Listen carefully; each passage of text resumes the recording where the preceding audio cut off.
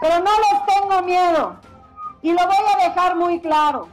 ¿Qué tanto miedo tendrán ellos que tuvieron que clausurar mis espectaculares? Señora presidenta municipal, cuando sea gobernadora, va a tener una amiga, no va a necesitar clausurar espectaculares. Puedo decirlo fuerte y claro. Sé perfectamente lo que nos vamos a enfrentar.